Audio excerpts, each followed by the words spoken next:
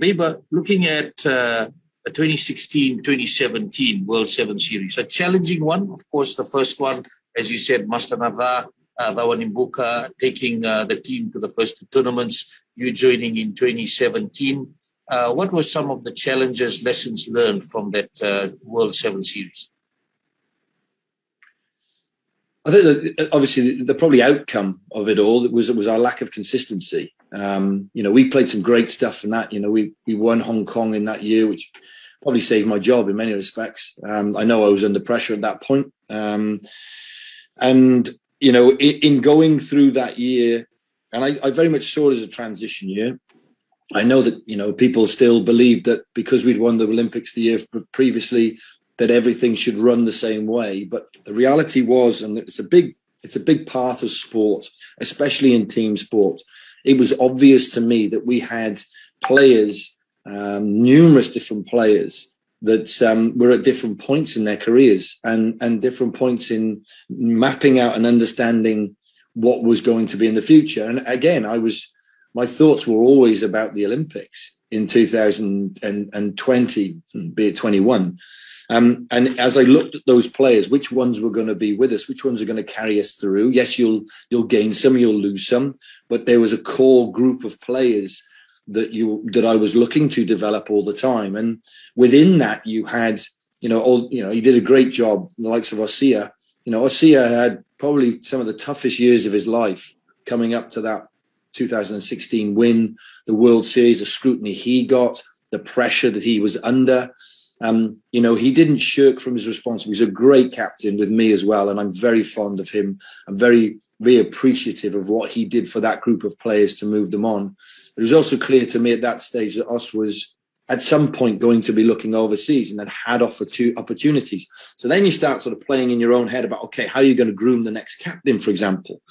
And then in amongst all that, you had players who were, you know, exceptional in their talent, but motivation had dropped off them and where were they going to be? I mean, you know, Sammy Viriviri is one of the best, best, certainly the best defensive players I've, I've coached, and certainly as a sevens player. But it's clear to me again that Sammy wasn't where he needed to be, and the thought process for Sammy of another four years was was a big ask. Um, and then you had other players who were leaving and going overseas. And I, I told this story recently, but I remember, you know, you know, obviously my communication with the players I was trying to get that, and I rely heavily on the staff, certainly in the early years. And I remember we were going to, I think it was London. I, probably misremember. I'm getting too old now. But um, I remember uh, p- picking the squad, and about three days before we travelled, Masivesi Dakuwaqa coming to me and asking for time off to go and get his visa. And I said, You don't need to. We've done all the visas. And he said, No, no, no. I, I've got to go to France. Sorry, I've got to go to Australia. My fault. I've got to go to Australia. And I said, Why are you going to Australia? He said, Well, I've got a contract I got a contract to go and play rugby league. I said, well, we've picked you to go to to London. Yeah, but I'm, I've just got this contract, and we were literally warming up on the field to go and do the three days before we travel, and and you know it was issues like that. Massey didn't mean anything by it. He he he knew that there was an opportunity, and that was what we had encouraged and had been encouraged. Um, but it was just it was things like that that knock out your consistency.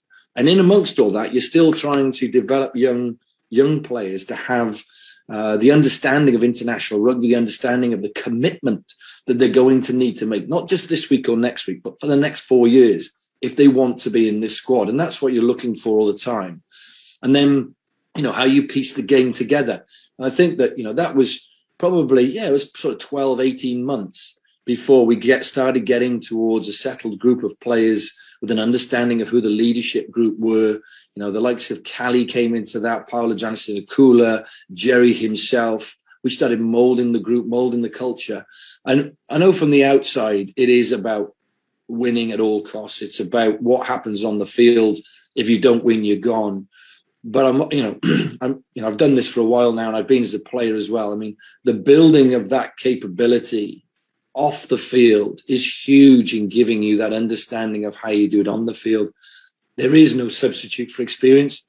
there isn't. I mean, you can you can get a young group of players together and, and, and they can have super talent, um, but they need to have the conditioning experience of being able to play and train at that level. And that, to me, is one of the biggest challenges we have in Fiji. um, because players don't have the models within other sports or within rugby itself. They haven't been in junior programs where they've started to understand how they're supposed to behave, what they're supposed to eat, what they're supposed to um, look after themselves with.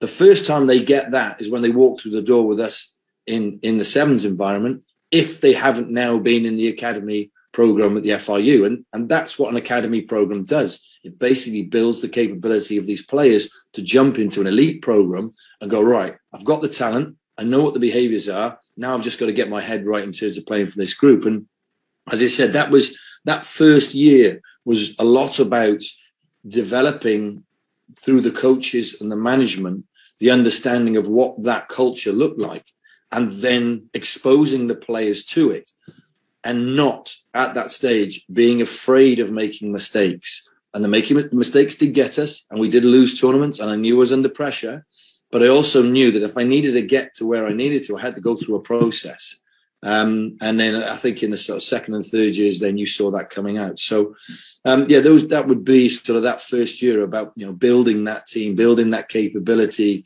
and the processes you put together, and then building the culture necessary to to you know keep the players where they needed to be to be able to perform at the levels that they had.